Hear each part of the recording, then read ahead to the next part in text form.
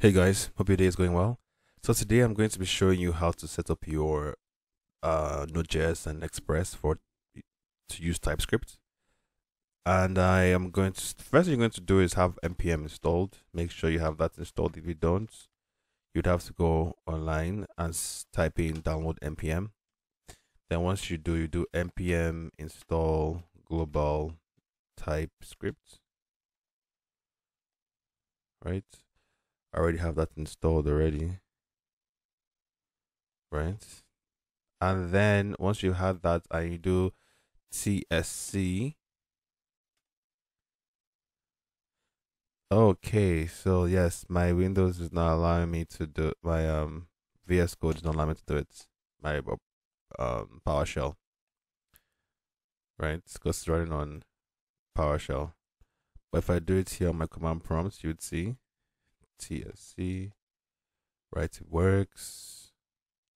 So to enable this, let me show you how to do that.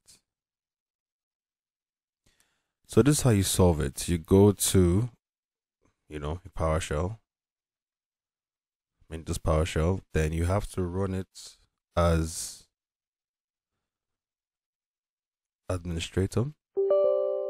Yes. Then come down here, open this. Then what you're going to do is say set execution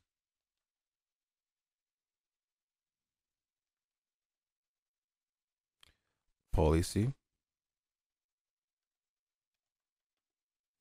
unrestricted.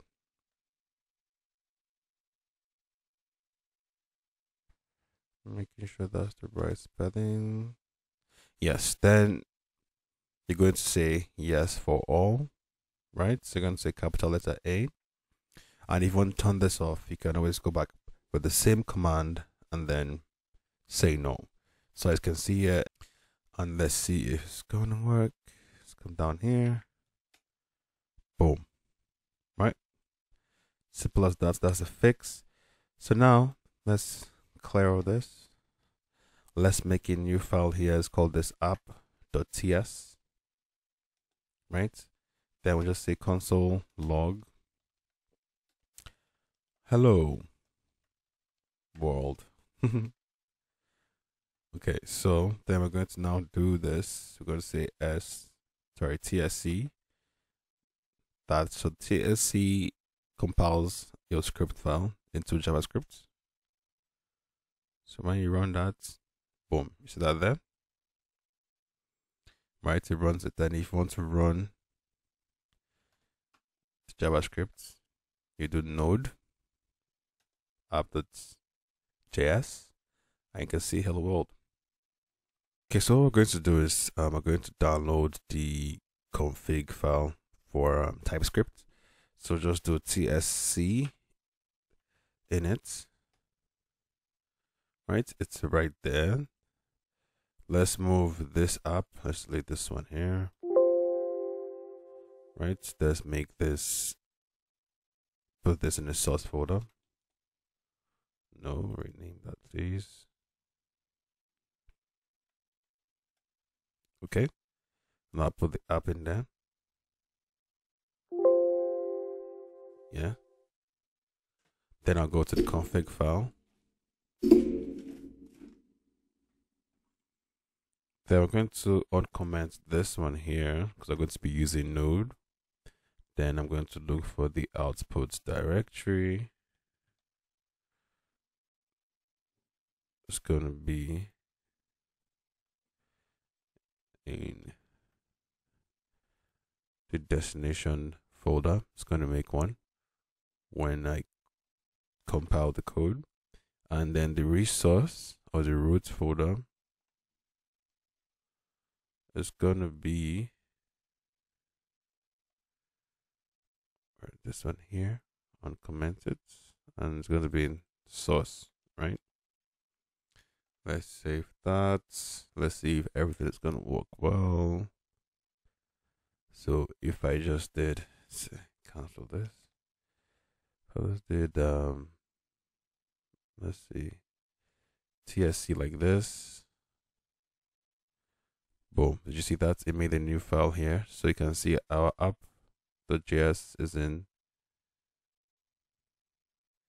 use strict.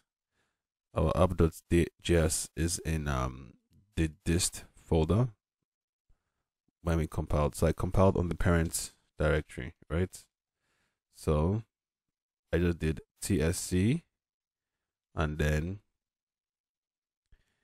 it made this folder here with the compiled TypeScript, which is um, JavaScript. We have make another one here. Let's show you this new file. Call this index.ts. Then we're going to do write another JavaScript here and just say hello, right?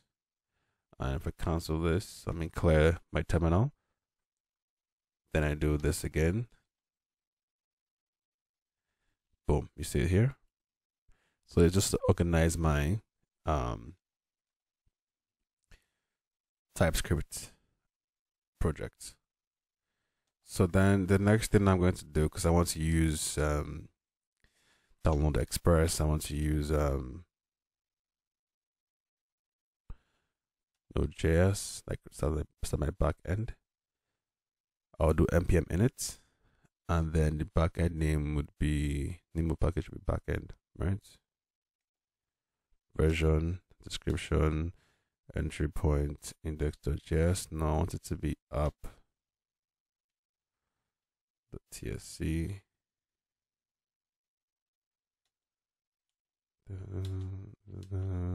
auto Victor. If you don't want to fill out all this, you can just do npm init dash y to give you a blank, a boilerplate package JSON like this one here. All right. So now let's begin with um, some dependencies that we need for the app. So the first thing we're going to need for sure is Express.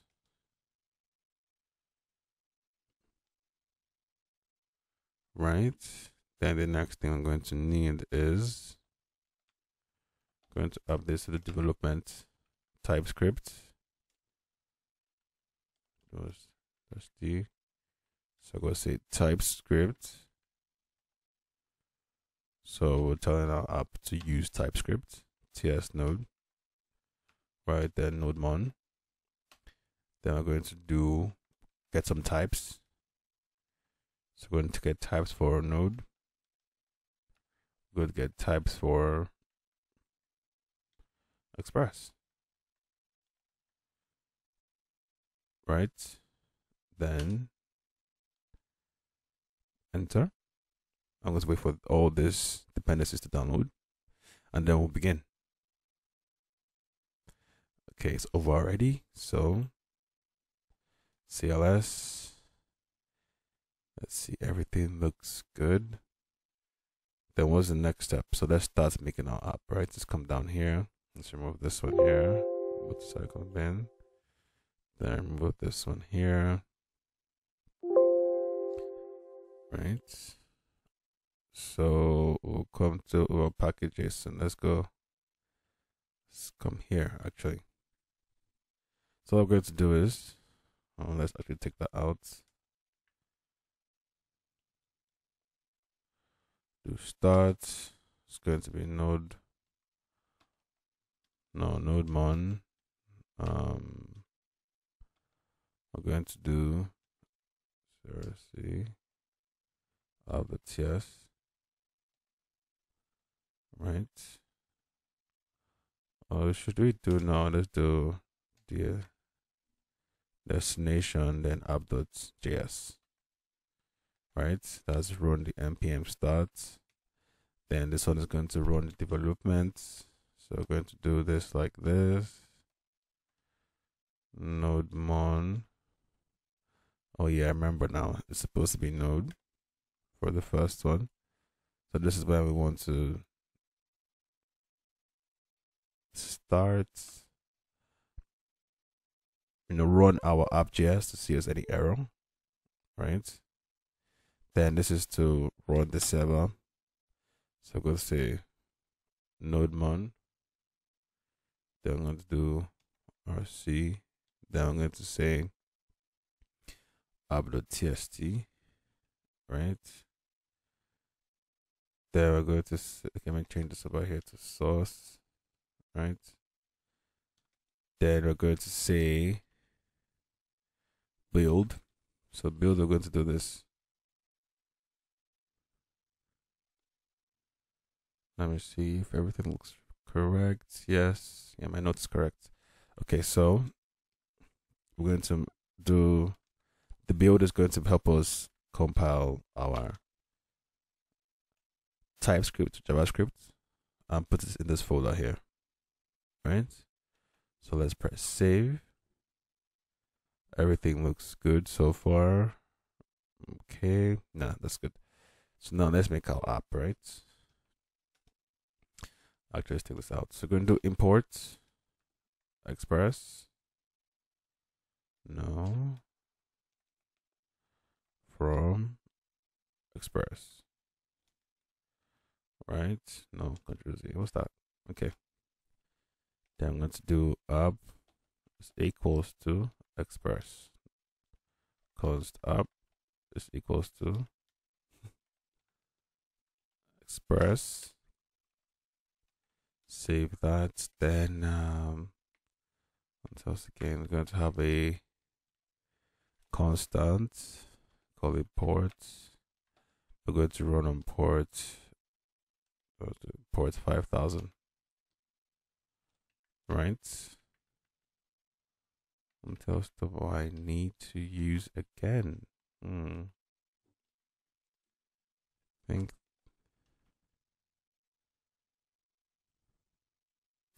Yeah, so let's start. Let's make a function called start, right? To start our server.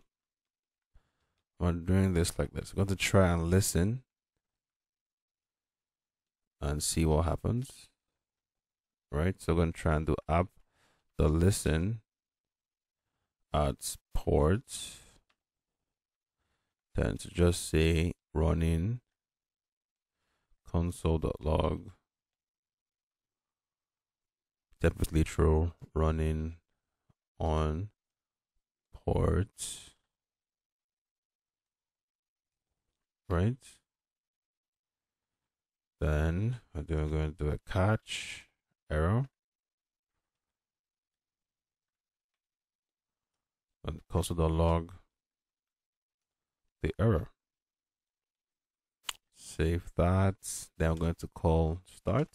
So one, one thing we want to do is we want our app to connect when our backend our backend to connect when we know that the app is listening, right? And if it's not, it throws an error. Then call it so it starts. Let me move this over here. CLS okay, it's already cleared. So we're going to do um, CD. No, I didn't backend already. So it's going to do npm run build.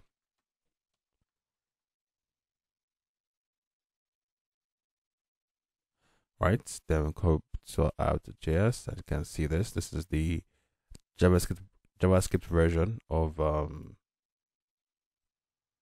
this here about TypeScript over here. Then I'm going to try and run this. Okay, let's see. App dot get at the home directory. It's going to say rest requests and response. So I'm going to say send going to do the usual. No, no, no. Control Z, Control Z. Send, um, yeah. Hello. Right? What's happening here? Okay, of type any. So let's actually get some of the types. Requests. I'm going to type response. Right? Then I'm going to do it of type response. I can do this of type request.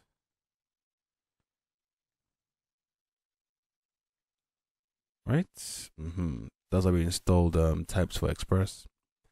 So that's it over there. Save. Then I'm going to run the build again. Run build. Okay. So I'm going to do um, run dev.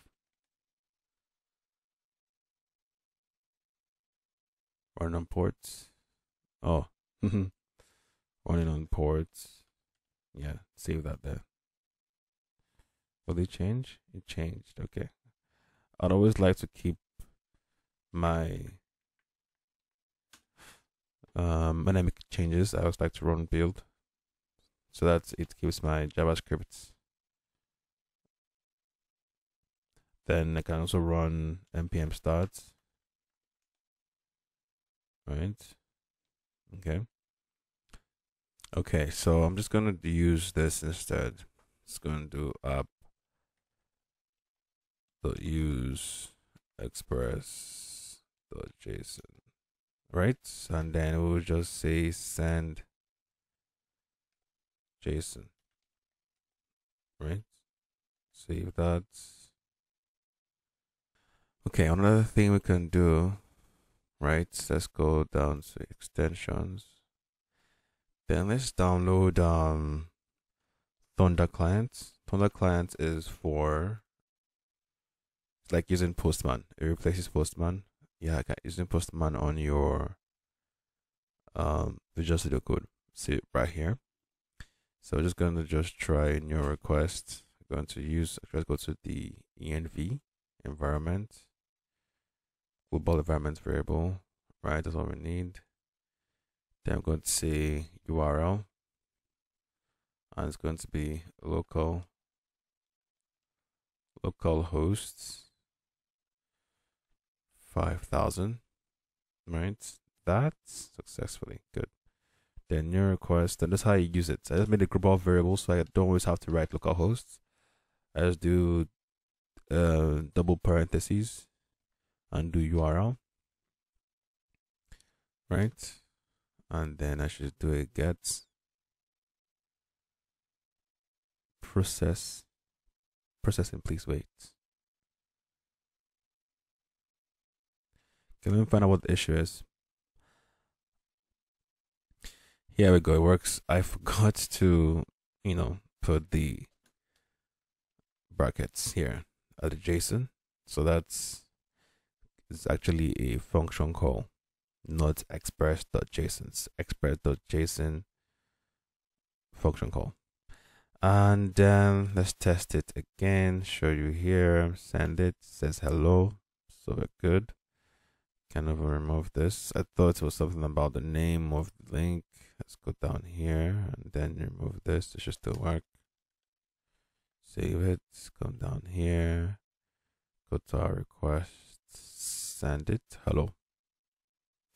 And there you have it, folks. How to set up your Node.js and Express to use TypeScript. And yeah, let me know if you have any questions. Thank you.